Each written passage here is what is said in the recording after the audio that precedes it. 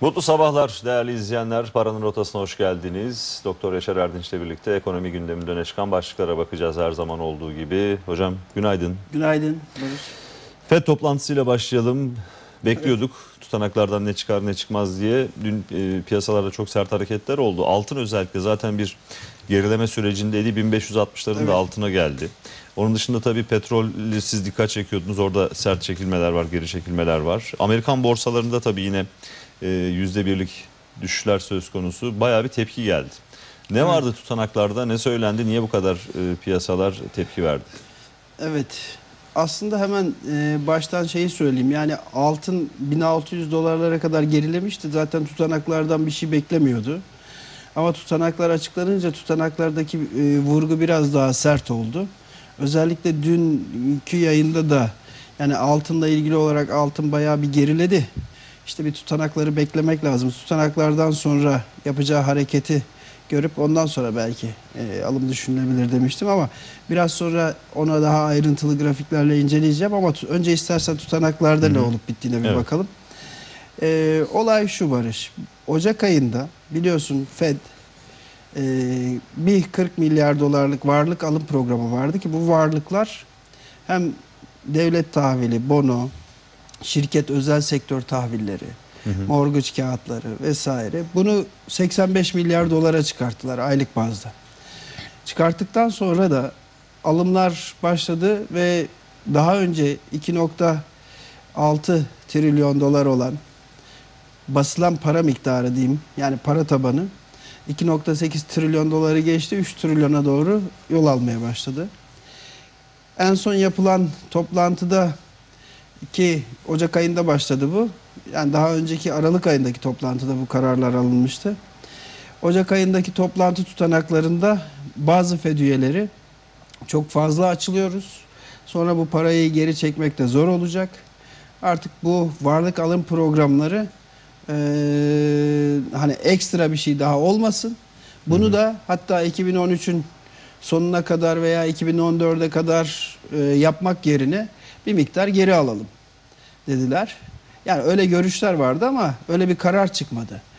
Şimdi dünkü tutanaklarda e, olay şu. Bir kere artık piyasalar şu şunu kesin olarak öğrendiler. Yani bundan sonra yeni bir varlık alım programı, yeni bir parasal genişleme olmayacak. İkincisi bu varlık alım programlarının faydaları da var, zararları da var. Varlık alım programı bir yere kadar ekonomik ivmeyi, ekonomik büyüme ivmesini hızlandırmış olsa da bunun ekstra zararları da var. Mesela e, siz gidip tahvil bonu alıyorsunuz. Bunların faizleri bu yüzden çok düşüyor. Dolayısıyla 10 yıllık devlet tahvili faizleri Amerika'da %1,5'a düştüğü sırada aldığınız devlet tahvilleri bir süre sonra %2'ye geldiğinde, %2'yi geçtiğinde zarar yazmaya başlıyorsunuz. Yani o kadar çok elinizde devlet tahvili ve bono var ki faizler ne bileyim şöyle bir %10 artsa yani 2'den 2.20'ye gelse yani o zaman Fed Merkez Bankası da zarar yazacak. Hı hı.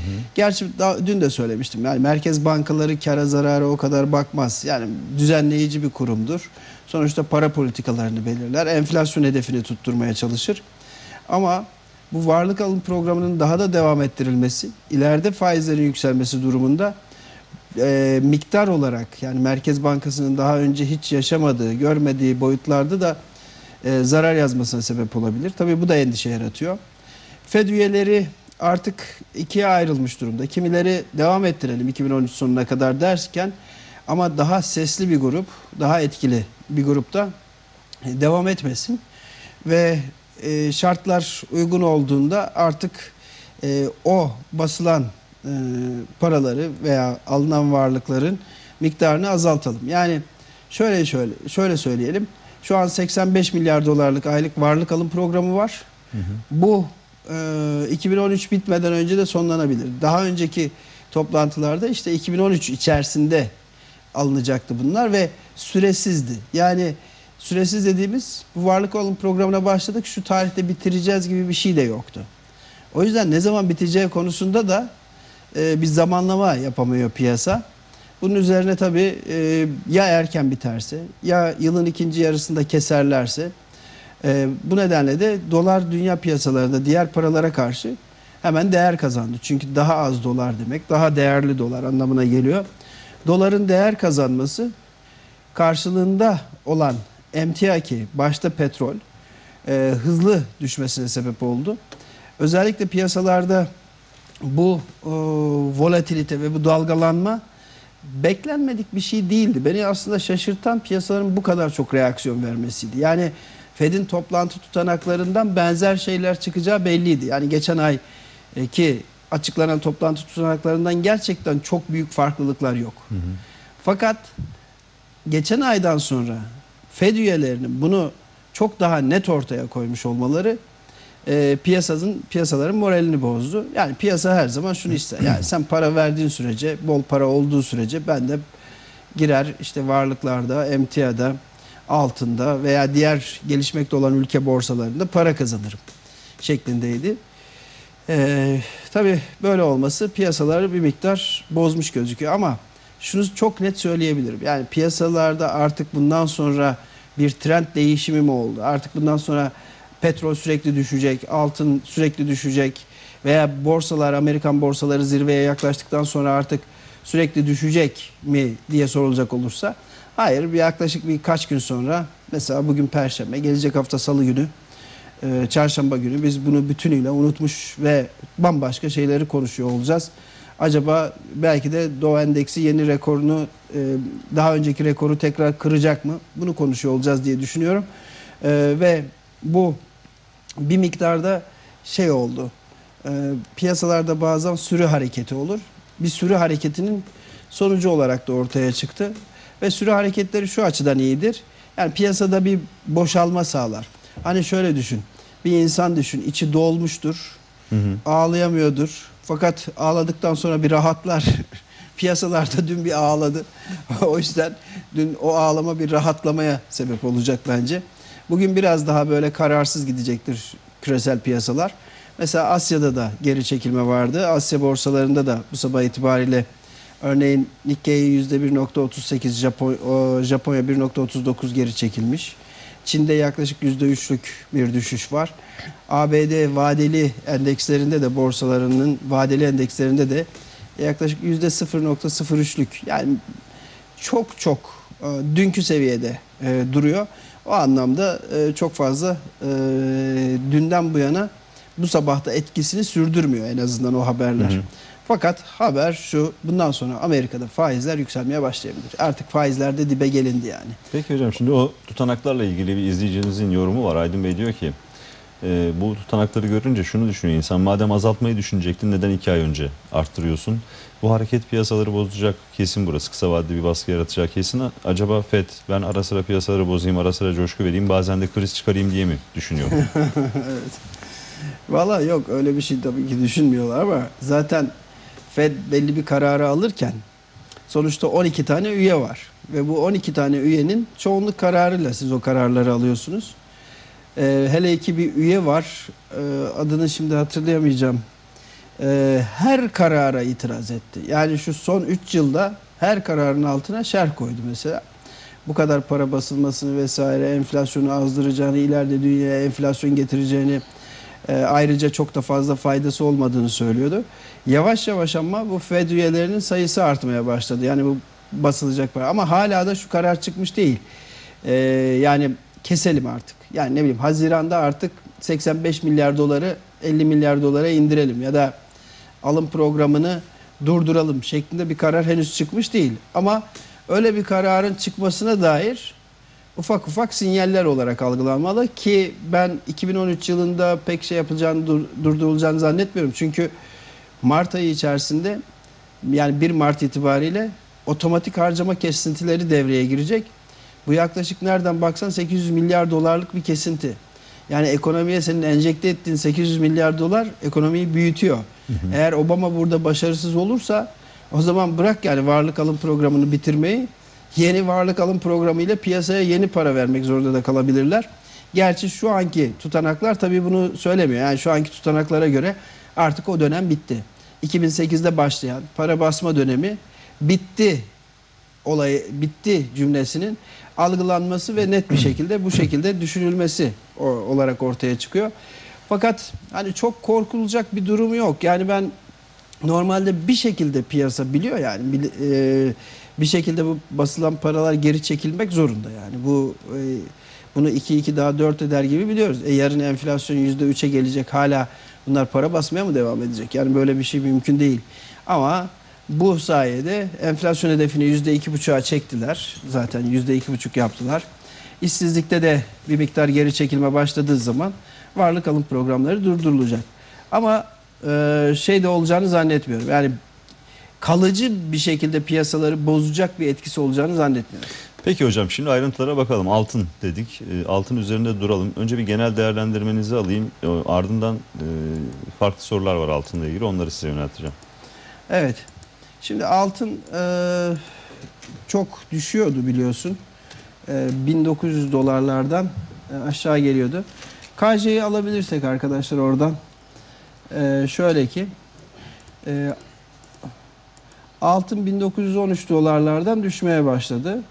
Ve en son gördüğü yer şu seviyeydi. Yani 1800 dolardı. Zaten bizim de daha önce şu bölgeyi altında alım bölgesi olarak e, düşünmüştük. Yani 1500 ile 1600 dolar aralığını e, alım bölgesi olarak düşünmüştük ve bu dibe geldikten sonra döndü altın. Genellikle bu seviyelere geldikten sonra dönüyor. Şimdi Jim Rogers var. Altınla ilgili emtia uzmanı Amerika'da ve yatırımcı, fon yöneticisi. O altının 1400 dolarlara kadar bile düşebileceğini ve 1400 dolara geldiğinde altında alım yapacağını söylüyor. Yani 1400 dolar seviyesi de şu çizdiğim çizgi.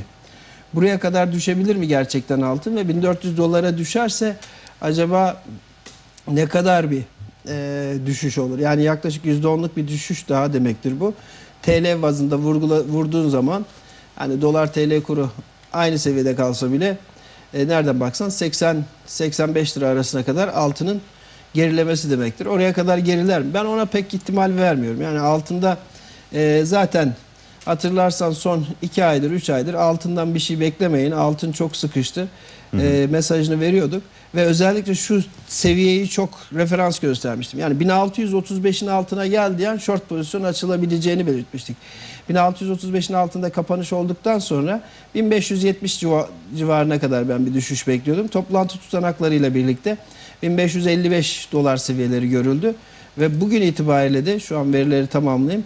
Bugün itibariyle de altında şu dakika itibariyle 1567 dolar seviyesinden işlemler geçiyor ama 1555 dolar dibi gördüğü yer. Peki altında nasıl bir hareket bekleyebiliriz? Yani bu aşamadan sonra ben onu en azından bir göstermeye çalışacağım şimdi. Özellikle e, şu düşüş sonrasında e, tahmin ediyorum buralarda bir bekleme durma yapacaktır. İnsanlar umutlanacaklardır. Acaba yukarı gidiyor mu şeklinde. Şöyle bir 1580 1590'a kadar gelebilir. Yeniden geri çekilmeler yapabilir. Ama bu bölgede altının bir miktar sıkışacağını görüyoruz. Eğer şöyle bir şey olursa daha iyi olur. Yani 1540 dolar seviyesine kadar 50 dolar seviyesine kadar düşer. 1525 dolar seviyelerine gelirse buralarda çok daha güçlü desteği var. İşte önümüzdeki bir aylık süre daha önce altın almayı düşünen veya almayı düşünecek kişiler özellikle 1550 1500 aralığında yavaş yavaş alım yapabilirler. Çünkü fiyatlar çok uygun. Niçin uygun? Önümüzdeki uzun vade için uygun. Çünkü uzun vadede artık şunu biliyoruz. Yani dünyaya ciddi bir enflasyon hele ki büyüme hızlandığı zaman gelecek. O anlamda altının bu seviyelerde yani 1500 ile 1650 seviyeleri aralarında hareket ettiğini göreceğiz çok büyük bir olasılıkla ve bu aralıktaki hareket eğer şu şekilde olursa yani şöyle aynen bak dikkat edersen şurada da şöyle bir hep yukarı gidiyor aşağı geliyor ama her yeni dip daha yukarıda oluşuyor. Ben de benzer şekilde şöyle bir hareket oluştuğunu görürsek bu zaten otomatik bu, bu bölgede bir üçgen yaratacak ve bunu yukarı kırdığında da çok sert çıkar ondan sonra tekrar. Ama buna daha süre var. Yani bunun başlayabilmesi için Amerika'da biz bir kere enflasyonun %2,5'a gelmesi lazım. Yani altında alımların başlaması için. Amerika'da enflasyon e, %2 civarında. 2.1 civarında. Ee, artı şöyle bir 3 ayı da geçirmemiz lazım. Yani şöyle bir, birkaç ay altında yine çok büyük hani uzun vadeli trend beklememek lazım. Yani daha doğrusu yükselen trend beklememek lazım. Ama şu olabilir. Kısa vadeli açısından bakıldığında 1550 dolar seviyelerinde alınıp çok rahat 1620 dolar seviyesinde satılabilir. Ne kadar süre içerisinde? Birkaç hafta içerisinde satılabilir. Yani bu şuna benziyor. TL bazında baktığımızda ki e, ben TL grafiği de açayım. TL grafikte de dikkat ederseniz bu bölgede bir destek vardı. Yani 90 lira seviyesinde bu TL grafik ve sürekli olarak 102 liradan bu yana sürekli olarak düşüyor. Ee, 90 lira seviyesinin altına geldiğinde ki daha önce test etti. Yani o da yaklaşık 89 lira seviyesiydi. Şu seviyeydi. Yani 90 liranın altına geldiğinde alan birisi çok rahatlıkla 92-93 lirada e, burada satabilir. Önümüzdeki birkaç hafta içerisinde o seviyeye de yukarı yönlü hareketler olabilir. Ama bu arada tabii altın düştü ama dolar yükseldi Türkiye'de. Yani bu sabah itibariyle 1.78'i geçti dolar. 1.78-20 seviyelerine geldi. Bu altının TL karşılığının çok daha fazla düşmesini engelle, engelliyor.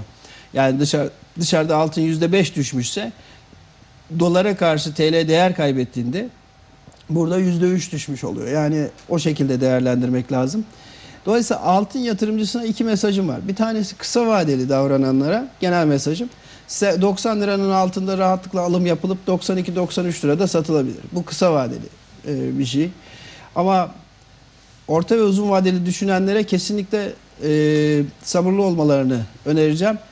Buradan satılır mı artık altın? Yani ben daha önce almıştım 98 liradan, 100 liradan, 97 liradan. Şimdi 90 lirada satayım mı? Yani %10 bir e, ciddi geri çekilme var. Hı hı.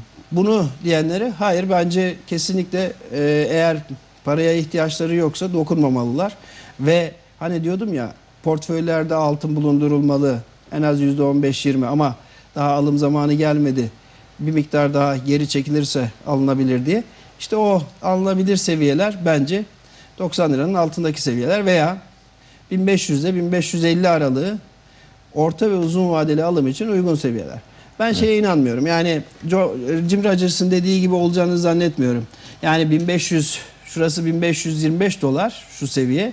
Yani bu seviyenin altına da gidecek ve 1400'e kadar düşecek. Bence eğer 1525'in altına gelirse zaten o bölgede bizim ayı tuzağı dediğimiz aşağıyı görüp tekrar döndüğü yer olarak görürüz diye düşünüyorum. Yani burada hı hı. herkes almak ister. Yani 1525'in altında 1400'e doğru geri çekilme olursa herkes almak ister. Dolayısıyla orada hemen alımların gelmesiyle birlikte yukarı döner. Altın için e, en net mesaj şu olabilir. 2-3 ay bir şey beklemeyin. Kısa vadeli olarak %3 civarında bir yukarı hareket söz konusu olabilir. Ama 92 şu an için Türkiye'de TL bazında 92-93 liranın geçilmesi uzun zaman alacak. Hocam altınla ilgili tüm soruları aslında bu değerlendirmeyle e, yanıtlamış oldunuz. E, Abdullah Aktürk Levent e, ev kuran altını soruyordu. E, 90 lira sev seviyeleri demiştiniz. Şimdi ne olur diye sormuşlardı. Onları yanıtladınız.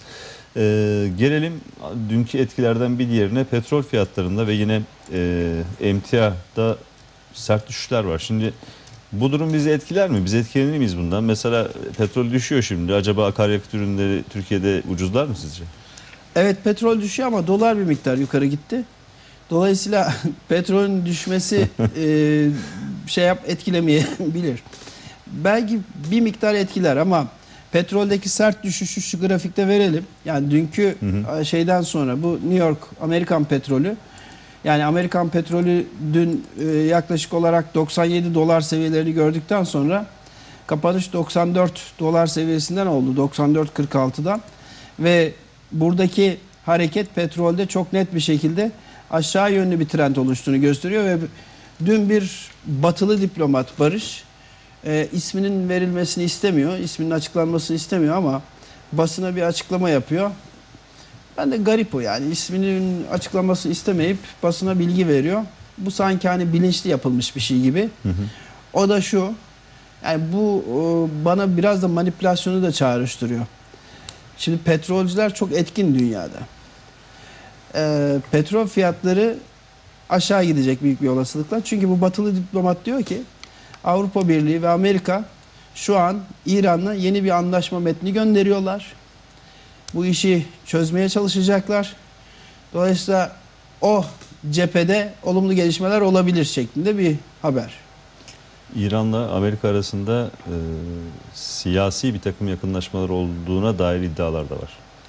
Evet olabilir ve bu da tabii petrol arzıyla ilgili olarak çok önemli bir bilgi. Yani dünyada üretilen petrol arzıyla ilgili olarak bugün petrol uzmanı biri şey diyor. e, yani tamam diyor büy- ekonomiler büyüyor, gelişiyor, petrole ihtiyaç duyuyor ama arz daha fazla artıyor şu an diyor. Dolayısıyla zannedersem Moody's de bir açıklama yaptı. Petrol fiyatlarının düşeceğini söylüyor. 94 dolar. Brent petrolün 95-94 dolarlara kadar ki Brent petrol şu an kaç dolarda ona bakalım. E, 117 e, 117 dolardan şu an 114 dolara kadar gerilemiş durumda. Brent petroldeki sert düşüş bu daha e, rafine bir petrol. Yani daha kaliteli bir petrol. Brent petroldeki düşüş oldukça sert ve burayı bir türlü geçemedi. Yani 118 dolar seviyesi bir türlü geçemedi. Brent petrolde de geri çekilme olabilir. Yani bence 109 dolarlara kadar geri çekilme. Onların söylediği şey şu 95 dolar seviyesi. Yani bu 95 dolar seviyesi az bir seviye değil.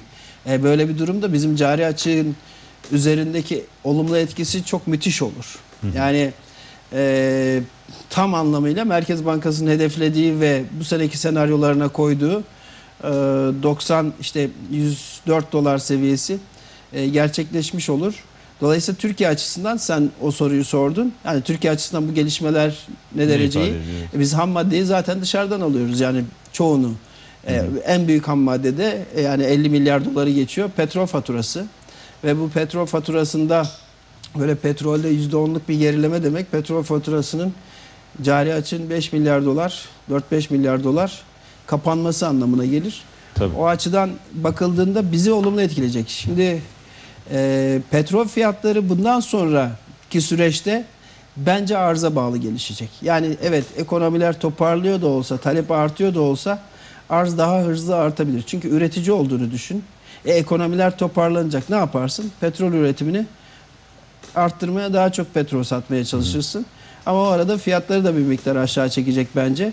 Yalnız petrolde bu dünkü düşüşün ardından bugün bir miktar ve yarın bir miktar tekrar tepki göreceğiz.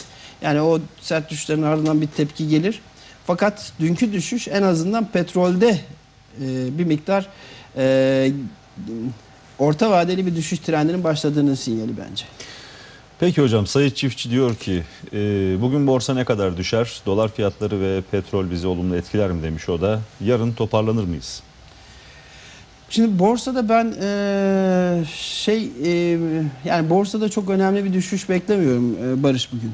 Yani diğer dış borsalar çok düştü ama eee, bizi tam anlamıyla olumlu etkileyecek bazı gelişmeler oluyor.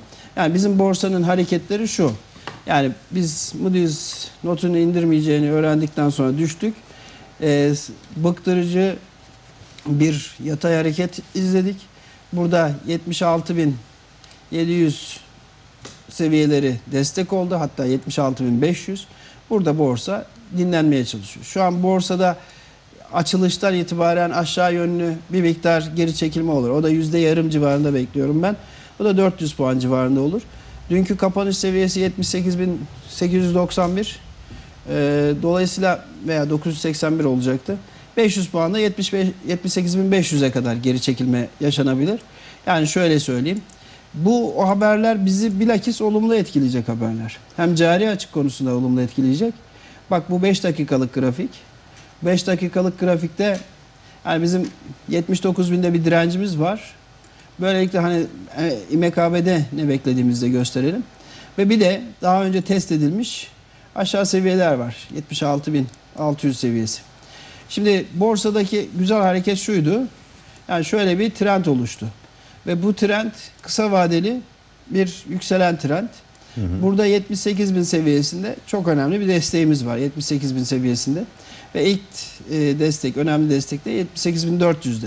Şimdi bu seviyeye kadar gerileyebilir. O önemli değil. Yani 78 bine kadar düşmesinin bir anlamı yok. Ama önemli olan şeyin altına gerilememesi. 77.700'ün altına gerilememesi. Yani 77.700'ün altına gerilerse O zaman bizde de yeni bir düşüş trendinden bahsedebiliriz. Fakat o kadar beklemiyorum. Yani dış piyasalara ben şu an baktığımda e, DAX endeksinin en azından şeyine %0.51 bir geri çekilme var. Benzer şey bizde de olacak. E, 78 bin e, 500'lü civarında bir açılış yaparız. Şu an zaten şeye bakalım. E, bizim e, vadeli işlemler borsası nereden açılmış? Yaklaşık olarak 98 bin seviyesinden 98'den kapanmış. Şu Evet. an 97 300 700 puanlık bir geri çekilme var. 700 puanda zaten yaklaşık %0.70 civarında. Aynı şeyi vursak 400 puanlık bir geri çekilme olacak borsada e, da ama burada e, en azından bak şurada vadeli işlemler borsasında şu harekette e, şöyle bir yukarı trend çizdiğimizde hani bu trendin altına gelmemiş. Dolayısıyla borsada çok panik olmasına gerek yok bence yatırımcının. Yani borsa bizim borsa hem cari açık üzerindeki olumlu etkisi. Bak Rusya'yı daha kötü etkiler bu. Yani petrol fiyatlarının düşüyor olması çünkü nasıl ki bizde bankalar taşıyor endeksi Rusya'da da petrol şirketleri değer kazanıyordu petrol fiyatları arttıkça. Dolayısıyla Rusya'da bugün düşüş olur. Yüzde bir buçuk ikiye yakın düşüş olur. Fakat bizde olmaz. Ee, bizde daha çok yani olmaz derken yani seans içinde bir haber gelir başka bir şey haber gelir olabilir. Ama sadece dışarıdaki bu etkiyle işte Fed'in toplantı tutanakları nedeniyle bizim derdimiz ne Barış? Merkez Bankası ne diyor? Dışarıdan çok para geliyor. Dolar aşağı gidiyor. Türk lirası değerleniyor. Ben bunun önüne geçeceğim diyor. Reel efektif kur endeksine bakacağım diyor. E şimdi de dolar yukarı gitmeye başladı. Bizim istediğimiz bir şey oluyor. Türk malları daha da ucuzluyor. Rekabet gücü kazanıyor. Yani 1.78-20'ye gelmiş. Döviz sepeti 2.07-2.08'e yaklaşmış. Diğer taraftan da petrol faturamız azalıyor. Şimdi olaya böyle baktığında yani fon yöneticileri, yabancı fon yöneticileri, Türkiye'ye yatırım yapanlar direkt olarak bu kriterlere de bakıyorlar. Dolayısıyla bizde çok büyük sırf bu sebeple düşüş beklenmez ve ben de yatırımcının panik yani şey yapmasınlar. Yani seans açılır açılmaz eyvah çok düşüyor deyip satışa geçmenin çok fazla anlamı yok. Ama 77.750 seviyesi aşağı kırılacak olursa ha orası tehlikeli. Yani o, o seviyede şurası. Yani 77.750 seviyesi de şu seviyeler. O çünkü yeniden diplerin test edilmiş olması anlamına geliyor. Şu an o seviyeleri çok fazla beklemiyorum. Peki hocam e, Levent Bey de diyor ki dolar dün satış verdiğiniz 1.78-15'i aştı. Şimdiki hedef sizce nedir? Dolara da isterseniz. Dolarda e, dolardaki hedef şimdi bu tut- toplantı tutanakları dünyada e, şeyi arttırdı. Yani dolar e, talebini arttırdı. Bak şimdi bu şeyi göstereyim ben sana. E, bu DXY endeksi. Bu DXY endeksi e, doların dünyada diğer paralara karşı değer kazanıp kazanmadığını gösteriyor. 5 dakikalık grafiklere baktığımızda toplantı tutanakları öncesinde yükseldi yükseldi. Tam toplantı tutanaklarının açıklandığı yer burası. Yani tam şu nokta. Şimdi tam bu noktada e, dolar hızla değer kazandı. Dolayısıyla TL de bu yüzden dolara karşı değer kaybetti. Eğer normal şartlarda olmuş olsa TL yine hani 1.77 50 1.78'i test etti. Tekrar e, aşağı dönmesi beklenirdi. Ama şimdi dolar TL kuruna bakalım. Dolar TL kuru da aynı şekilde yani dış piyasalarla e, benzer şekilde hareket yapıyor. E, tabii bu sabah bankalar arası piyasa yeni açıldığı için yani dün 1.78-20'deydi. Şu an 1.78-60 seviyesinde. 60 dakikalık grafiklere baktığımızda en azından şu direncin üzerine çıkmış durumda ve bu e, direnç yani şu direnç yukarı kırıldığı yerde dünkü yorumumu okumuşsa web sitemde zaten özellikle 1.77-60'ın üzerine çıkılırsa kısa vadeli long pozisyon açılmasını önermiştim dünkü yorumumda. Şu an en fazla gelebileceği yer doların teknik olarak konuşuyorum. Yani değişik başka olaylar olursa onu bilemem. Ama 1.79 50 civarıdır. Şu an 1.79'a doğru bu hareket var. Onun öncesinde bir direnç var. 78.90, 78.80, 78.90 seviyeleri. Normal şartlar altında bu teknik olarak bu bölgeden kurtulduğu için 1.75 bölgesinden kurtulup 1.77 70'i yukarı kırdığı için şu an 1.79 seviyelerinde karar kılmasını beklerim. Yani şeyi 1.80'i aşmasını beklemiyorum yani kısa vadede. Kısa vade derken önümüzdeki 1-2 hafta içerisinde 1.80'i aşmasını beklemiyorum. Ben mesela şu an eğer satış yapmışsam dolarda yeniden alım yapmam. Beklerim 1.77 veya altına gelsin diye. Yani 1.76-50 civarı alım için uygun seviye orası. Her zaman da onu söylüyorum. 1.75 ile 1.76 arası her zaman alıma için en uygun seviye. Ama şu an bir miktar buralarda e, yatay 79-78 aralığında gidiş geliş bekleyebiliriz.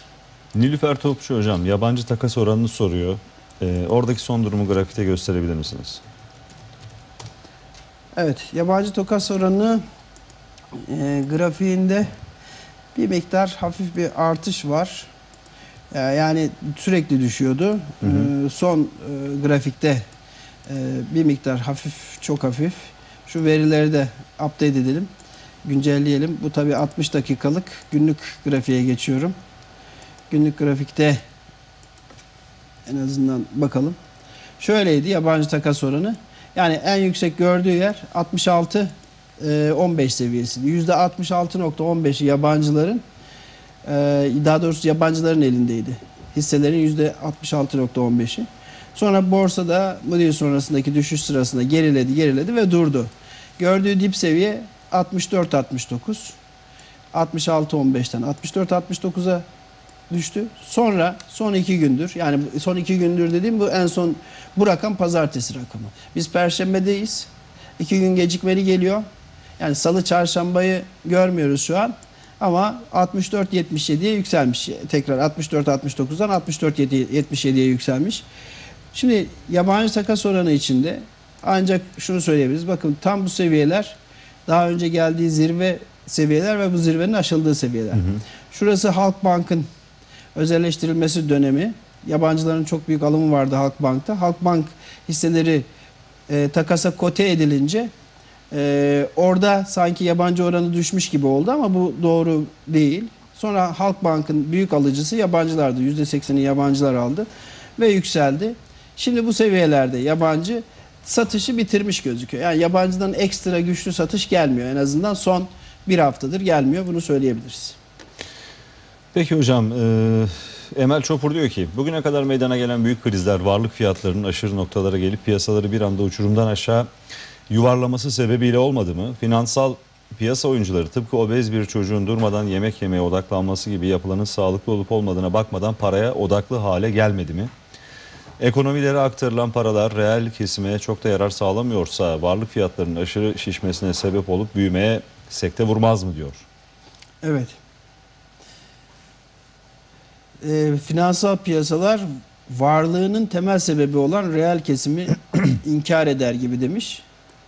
Söyleyecek hiçbir şey yok. Zaten Merkez Bankası'nın da söylemeye çalıştığı bu. Diyor ki fiyat istikrarını sağlamaya çalışmak sadece finansal istikrarı sağlamıyor. Yani finansal istikrar varlık bolunlarının oluşmasını engellemiyor. Evet. 2008 krizi tüm dünyaya bunu gösterdi. Bu nedenle ben diyor Merkez Bankası finansal istikrara odaklandım diyor. Türkiye'de garip bir şekilde kredilerin patlamasıyla zaten bütün yapılan bilimsel çalışmalar şunu gösteriyor. Bir ülkede krizin en önemli sinyali kredilerdeki patlama, kredilerdeki hızlı büyüme. Krediler ne zaman çok hızlı büyümeye başlamışsa arkasından kriz geliyor. Çünkü herkes borçlanıyor anlamına geliyor bu. Ee, Merkez Bankası da bu yüzden bunu yapıyor. Piyasaların önünde ne var Barış? Piyasalar ben bu ortamda nasıl para kazanırım diye bakıyor. Onun için ülke ekonomisinin ne anlamı var ki? Adam cebindeki Tabii. paraya bakıyor. Zaten borsada bir söz vardı. Borsada babana bile güvenme e, derler. Gerçekten de sadece amaç para kazanmaktır. Hı hı. Muazzam bir hırs vardır. Ve e, piyasalar dediğimiz Amerika'daki piyasalarda emtia piyasasına yatırım yapanlar da bu kararlardan memnun değil. Ya hı hı. basın parayı, bollaşsın para, biz de para kazanalım. Onların zaten öyle bir şey yapması beklenmez. Niçin kurumlar var?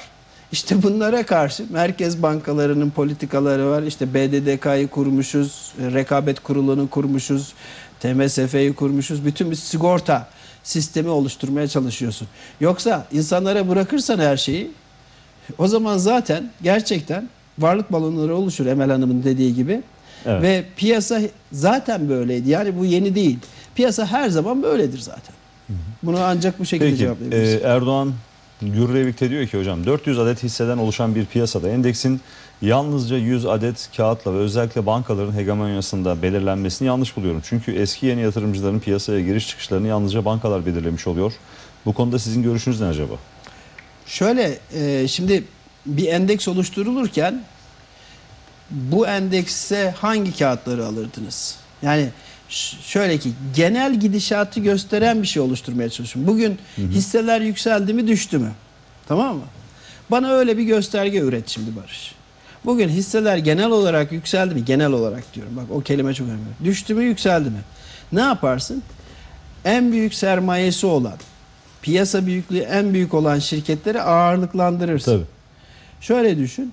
Bir İMKB 100 endeksi yok sadece. Bak İMKB 30 var.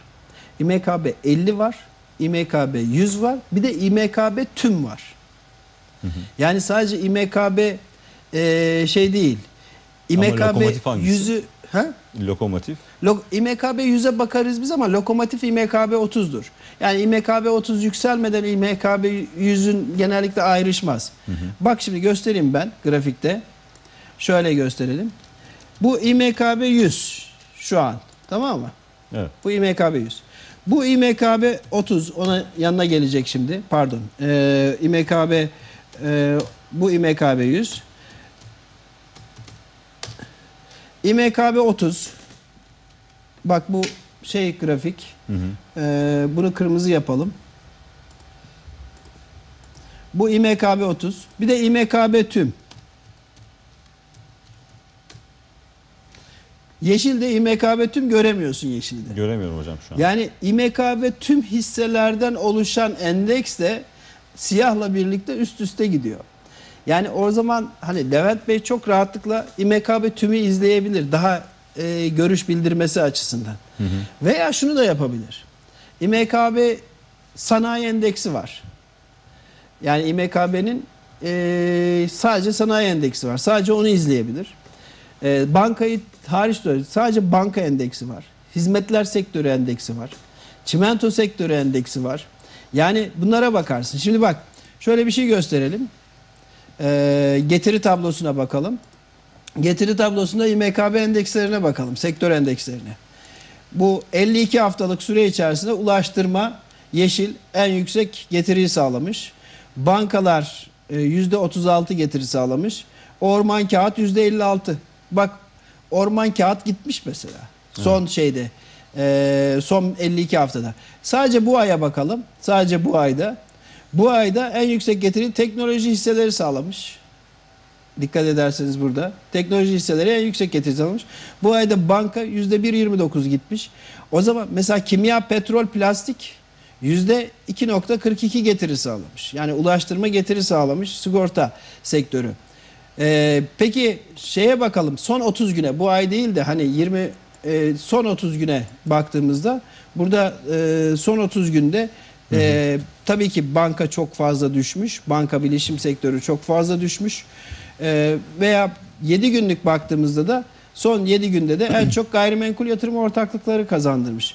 Gıda içecek kazandırmış ve ticaret kazandırmış. Dolayısıyla bu endekslerin her biri hazırlanmış durumda İMKB tarafından. İsteyen istediği endeksi izleyebilir gerçekten. Yani bankacılık, İMKB 100 yatay giderken ben de yazılarımda sürekli onu vurguluyorum. Ya artık endeksi izlemeyin diyorum. Endeks bundan sonra yatay sıkışık gidebilir ama siz farkında olmadan başka sektörler alıp başını gidebilir. Başka e, şirketler alıp başını gidebilir. Seçici olun e, demeye çalışıyorum. E, dediği gibi Levent Bey tamam tar- şey yapmıyor olabilir, karşılamıyor olabilir ama Evet. O seçenekler zaten önünde var. Peki hocam süremizi doldurduk. Çok teşekkür ediyoruz. Size yarın sabah yine beraber olacağız. İzleyicilerimize Ben de katkılarından ötürü teşekkür ediyoruz. Paranın rotasını noktalıyoruz. Bir ara vereceğiz. Aradan sonra yayınımıza bugünün gündemiyle devam edeceğiz.